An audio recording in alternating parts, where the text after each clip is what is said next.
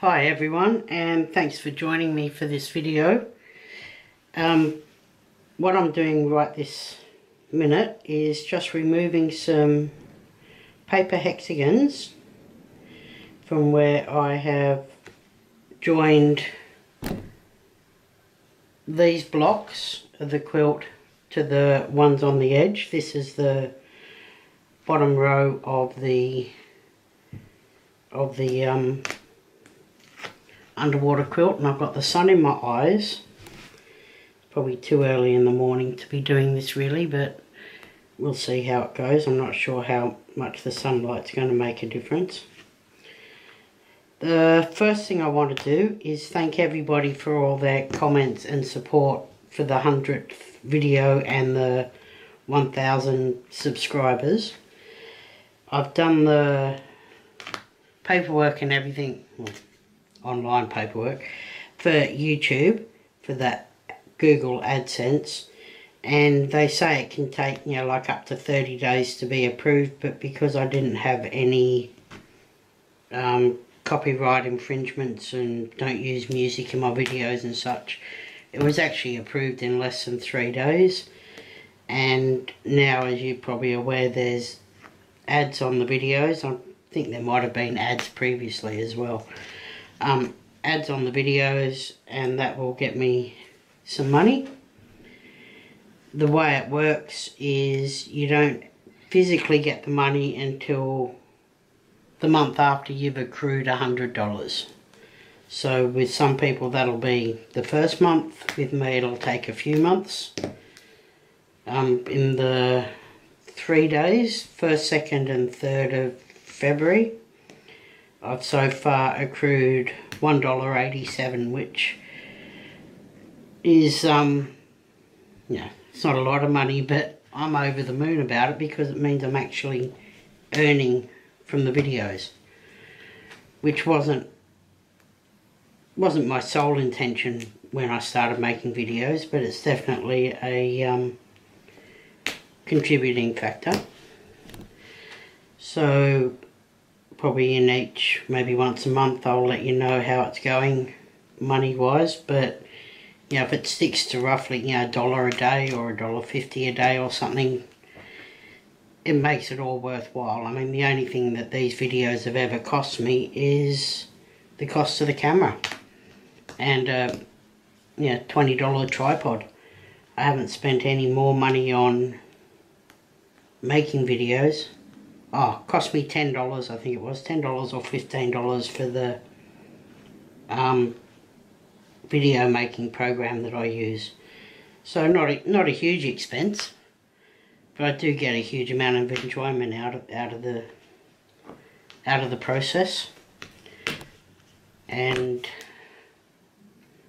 we'll up, you know, see how it goes. I'll let you know how it goes, but once again, thank you so much for all the support and please like and share and if you haven't subscribed then subscribe because the sharing of the videos and the more people that watch them obviously the more money I'll get. And now if I move back a bit I've got the sun out of my eyes. Um, so I've just removed those papers. They go into my tray along with my bit of card where I keep the tally. I've now taken out, for this quilt, I've taken out 5,200 papers. There's no papers left in this bottom. And some people have asked, why do I take them out as I go along? And some have asked, when do I take them out? There's no way once this quilt is finished then I'm going to want to take out 15,000 hexagons all in one go. Taking out that 20 just then, that's more than enough at a time. When If I have to do um, add in blocks where you're going to have two sides of a block sewn, you know, when you add it in, that's about my limit, you know, 30, 40 blocks or papers. Otherwise, it's just too easy to miss them. I was looking at this just earlier and I could see some threads, basting threads, and there were two two hexagons in this brown section that I hadn't taken the papers out of. So, you know, doing it a block at a time, if you can miss them, imagine taking them out out of an entire like two and a half meter square quilt. That just is beyond my comprehension. So I take them out once. Actually, I haven't done it with these. Once everything around has been sewn in. So on this fish, there's actually two hexagons there. That one's coming undone. Probably not a good example. And that's not a good example either because you can't see anything. This one, there's one, two, three, four hexagons that can, four papers that can come out of this fish. Because all the outer ones need to keep the papers in until it's sewn in. So with this I could remove the black one and then another three red ones. Which I thought I'd actually already done that with the fish, but I obviously haven't. These smaller fish I could remove two um, that small fish. They're all little. This bigger, that's an angle one, one, two, three can come out of there. So it all depends on the shapes that you're doing. If you're doing flowers like the centerpiece and the six around it, I always remove the center one once the six are around. If that six are part of a bigger thing and you're going to be carrying on to make a bigger flower, then I just wait till I'm at the end of my thread and that normally means I can remove two or three papers. And then as things get bigger, like when I'm doing these blocks, it may be that I can remove eight papers per long thread. But that's how I do it. So with what I've got here, which this video is going to be about the underwater quilt. This border, or the, or the turquoise, is not going to be having anything added to it. This is it. This is the final edge. It will eventually be cut straight once it's quilted. But there's no more hexagons to be added to this border so I can, or I have removed all the papers out that border. I mean, I've done it in the past where I've left those papers in until it was time to start quilting almost. Or time to pin all the layers together. Only because it keeps it a bit neater, but I really don't care. So what I've got here, I've got a few things to mention.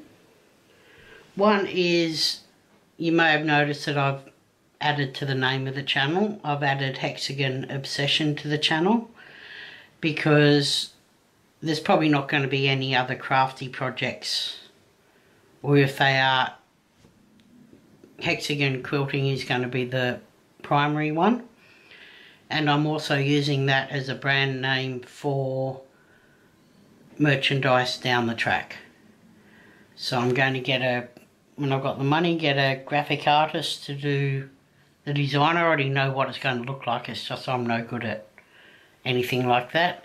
Get the design done and look at, you know, releasing, you know, having a merchandise shop through one of those outlets that they just put your design onto the range of items as they're ordered. So that's why it's changed to Hexagon Obsession. I'll still keep my name in it, but that that's the reason behind that. I'm still umming and ahhing about the new channel purely because I'm not 100% sure it needs to go as a new channel but I think there's going to be enough new ideas and content don't need the band-aids on um, that will keep it totally separate from this channel as far as what the subject matter is and things like that. So obviously when I start the new channel I will mention it and there will be a link but I'm thinking that channel can just be a, a standalone. So now back to back to this. Um, as I've said, there's no papers in this bottom edge. There are still papers in this other edge. So, this is a third done, which means there's three and a bit rows finished. This is the bottom row. You've seen parts of this. Now you're going to get to see the rest of it. So, I'm not sure what how I'm going to do this. I might ju just do it as a scroll, scrolling along. And let's see what we've got. And that won't go down low enough, I don't think. Not sure if this is working because I can't see because of the sunlight. But I think Okay. Oh, now I've got the shadow of the camera. That's probably not the best way to do it. So we might do it this way. So what we've got, actually I may see if I can do it from the other direction. Okay, so what we've got is we've got the bottom left hand corner coming along we've got a fish. We've got seaweed.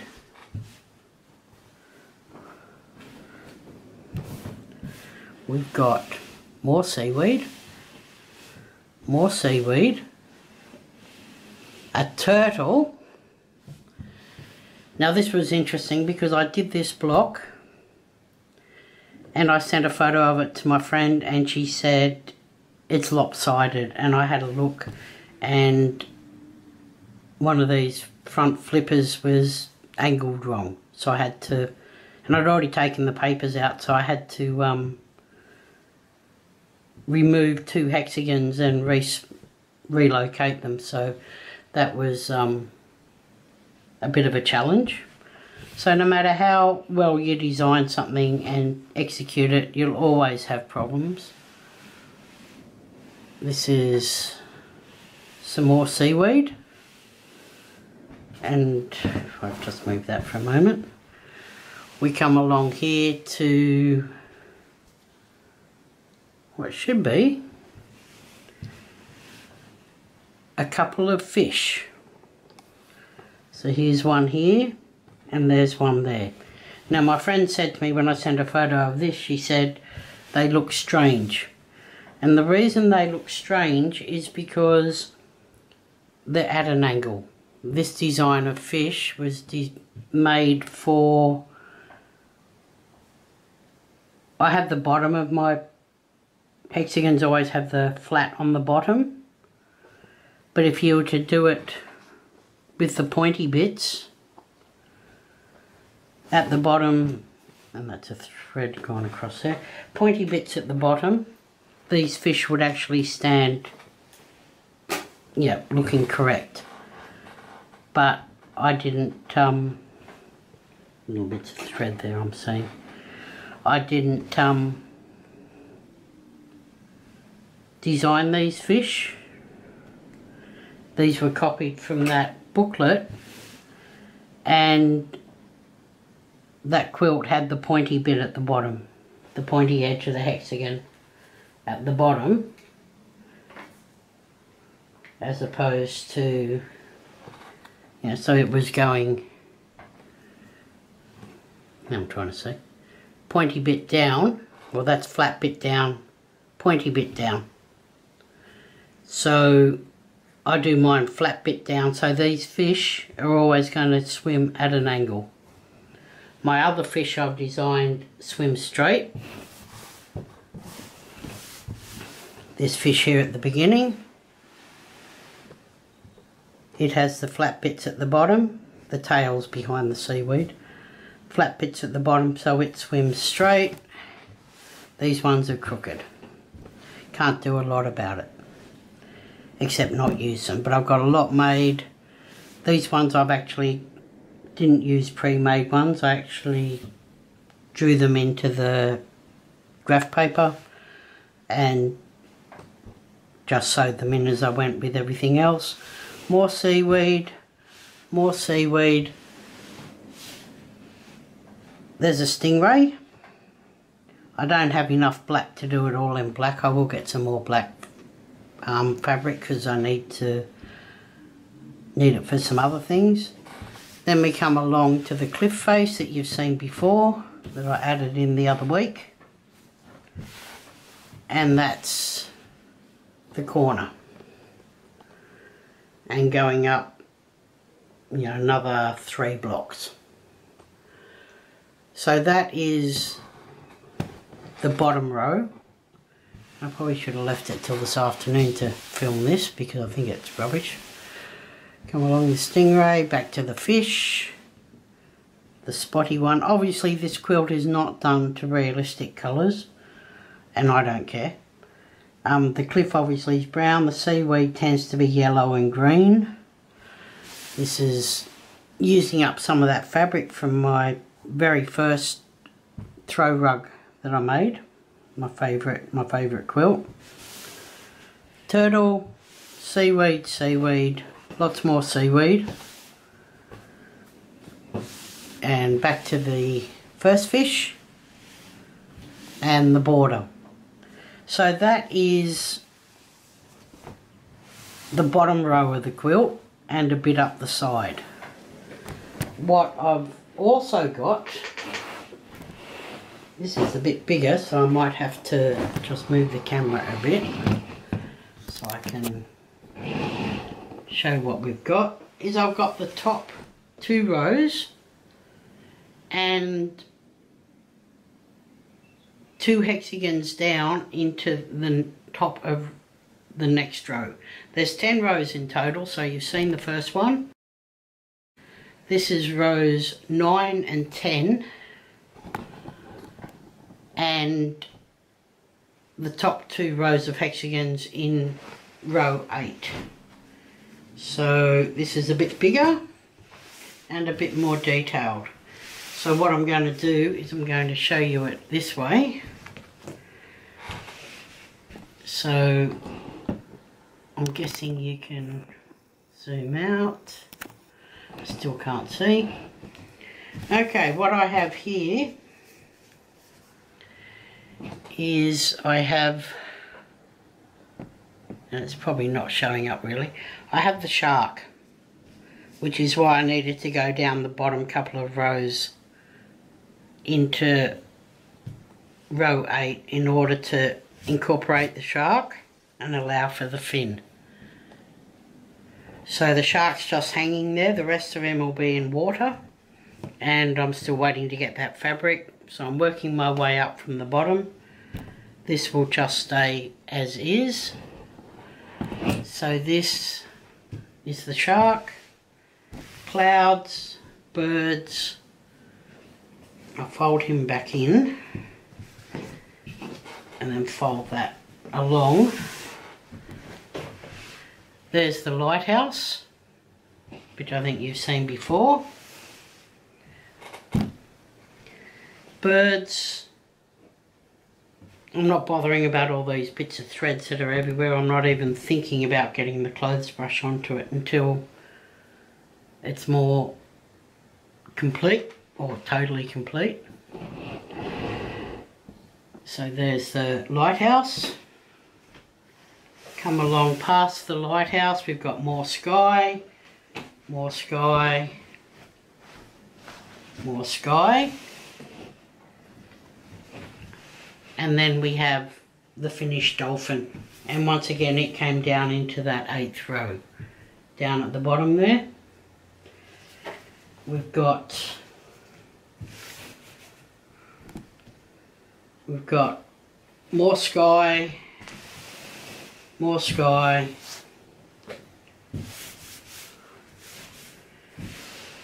and Not sure what that's showing now. Because it's rubbish. Because the sunlight, I shouldn't have done this this early in the day. Um, the cliff face.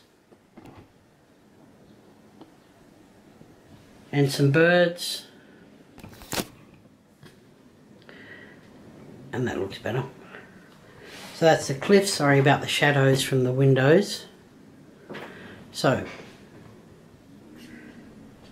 we've got the cliff, some birds.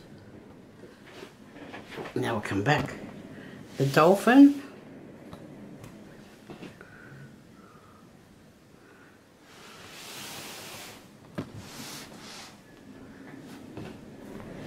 Sky, bird, sky.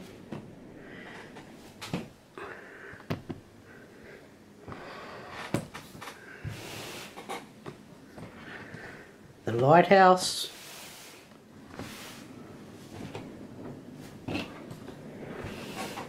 And the top corner with some birds and there's the shark that's not very easy to see actually. There he is. There's his um, tail, his gills, and along to his eye. This is one of the designs that I'm going to have on on my merchandise. There'll be fish, like the straight fish, not the angled fish um, the shark because it's my design. And I'll sort out some other ones but I'm actually looking forward to having a a cat with the logo and the shark. So that is basically where we're at. What I'm going to do is I'm just going to do some photos to put at the end of this video um, just to show it, you know, not just in the thumbnail, but just each stage of it. And so I'll probably do the these top rows, probably four photos, so just, it'll just be a pretty much a silent slideshow. At the end, thank you for watching, and I will see you in the next one. Any comments, any thoughts, um, yeah, throw them in the comments and as you know I'll always reply to them. Thank you.